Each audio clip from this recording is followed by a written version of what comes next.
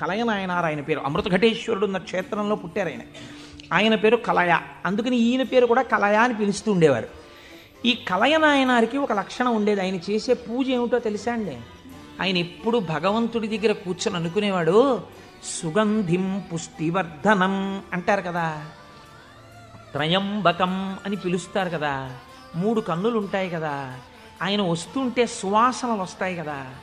ఆనాడు మార్కండేయుడు శివలింగాన్ని గట్టిగా కౌగిలించుకుని చంద్రశేఖర చంద్రశేఖర చంద్రశేఖర పాహిమాం అని అంటుండగా యమధర్మరాజుని శిక్షించి మార్కండేయుడిని రక్షించడానికి శివలింగంలోంచి ఆవిర్భవించాడు కదా. ఆవిర్భవించినప్పుడు శివుడి కన్నా ముందు శివుని యొక్క సువాసనలు మార్కండేయుడు పీల్చి ఉంటాడు కదా. శివుడు వచ్చేసాడు శివుడు వచ్చేసాడని పొంగిపోయి ఉంటాడు కదా. కాబట్టి శివుడి యొక్క సువాసన అలా ఉంటుంది కదా. అని పొంగిపోతూ నేను అలాంటి వాసన పీలుద్దామని ఆయన మహాైశ్వర్యవంతుడు కలయనాయనారు రోజు ఇంత గుగ్గిలం పట్టుకొచ్చి ఆ గుగ్గిలం వెలిగించి గుగ్గిలం ధూపం వేసేవాడు. ఆ ధూపం అంతా పూజ గదంతా నిండిపోతే అందులో కూర్చుని మార్కండేయుడు ఇలాగే వాసన పీల్చి ఉండి ఉంటాడు. ఆనాడు అర్జునుడు గబగబా వెళ్ళి తన గాంధీవం ఎత్తి కొడుతున్నప్పుడు శివుడి దగ్గరికి వెళ్ళినప్పుడు వాసనలు ఇలాగే వచ్చి ఉంటాయి. అని ఆ వాసనలు పీలుస్తూ కళ్ళు మూసేసుకుని ఇవే శంకరుడి శరీరంలోంచి వస్తున్న వాసనలు ఇక్కడే శివుడు ఉన్నాడని రోమాంచితం అయిపోయి పరవశించిపోతూ సమాధి స్థితిలోకి వెళ్ళిపోయేలా ఉండిపోతుండేవాడు ఆయన శంకరుడు చూశాడు వీడు రోజు గుగ్గిలం పట్టుకొచ్చి వేసి ఇన్ని రకాల దర్శనాలు చేసేస్తున్నాడు రా గుగ్గిలం పొగ అడ్డం పెట్టుకుని. అసలు ఈ గుగ్గిలం కొనలేని స్థితి తెస్తే ఏం చేస్తాడో చూద్దాం అనుకున్నాడు. ఐశ్వర్యం అంతా క్షీణింపచేశాడు. భార్యా బిడ్డలు తినడానికి కూడా అన్నం మితుకు లేకుండా చేశాడు. చూద్దాం ఏం చేస్తాడు. భార్యా బిడ్డలు ఆ భార్య మహాపతివ్రత. ఆవిడ తన మెడలో ఉన్నటువంటి మంగళసూత్రాన్ని తీసి నాయనారికి ఇచ్చి అయా మీరిది పట్టుకెళ్ళి వెలకట్టి అమ్మించి డబ్బు పట్టుకుని రండి దాంతో మనం కొన్నాళ్ళు భోజనం చేద్దామని. శంకరుడు ఒక పెద్ద బండిలో గుగ్గిలం బస్తాలు వేసుకుని ఎదురొచ్చాడు.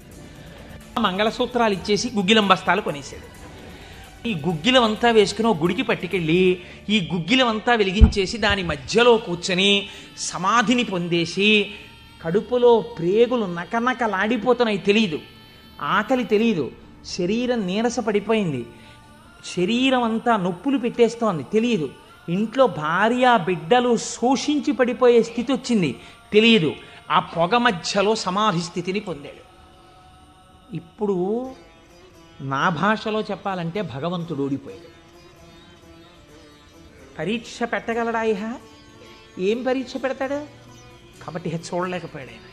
అమ్మ బాబోయ్ ఇదెక్కడ భక్తి రాని గబగబా కుబేరుణ్ణి పిలిచాడు. కుబేరా ఇలా నా పక్కన ఎన్నాళ్ళు నించుంటావు? నాకేం అవసరం లేదు. అడిగో మహానుభావుడు చూసావా గుగ్గిలం పొగ మధ్యలో కూర్చున్నాడు పెళ్ళం మంగళసూత్రాలు అమ్మేసి. వెంటనే వెళ్ళి ఆయన ఇంటిని బ్రహ్మాండమైనటువంటి అంతఃపురంగా మార్చేయి భార్యకి బిడ్డలకి భ్రూ భూమండలంలో లేనంత ఐశ్వర్యాన్ని ఇచ్చేయి ముందు ఉత్తరక్షణం వాళ్ళకి షడ్రశోపేతమైన భోజనం పెట్టు. అనేటప్పటికి వాళ్ళ ఇల్లు మారిపోయింది షడ్రశోపేతమైన భోజనం వచ్చింది. అయ్యో భర్త గారు ఎక్కడికి వెళ్ళారో అనుకుంటోంది ఆవిడ. అశరీరవాణి వినపడింది.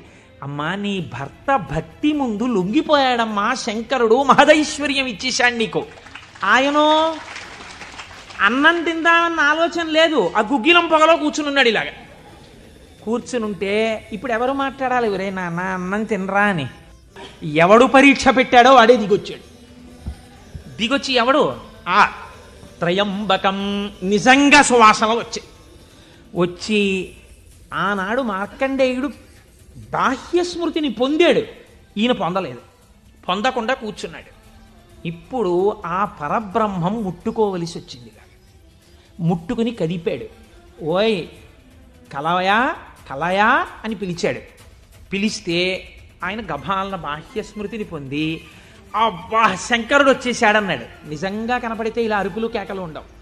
కందులంబట నీరు కారిపోతూ ఆ స్వామి పాదాల మీద పడిపోయి ఏ సుగంధిం పుష్టివర్ధనం అన్నాడు. ఆ సువాసన పీలుస్తూ అలా పడిపోయి ఉండిపోయి శంకరుడు భుజాలు పట్టుకుని లేపి ఒరే నాన్న నువ్వు ఇంటికి వెళ్ళింత అన్నం తినరా? నా కడుపు నిండుతుంది. తొందరగా బయలుదేరరా నాయన. ఇక్కడ ఎన్ని నైవేద్యాలు పెట్టినా నాకు వంట పట్టట్లేదురా నువ్వు ఇలా పడిపోతే.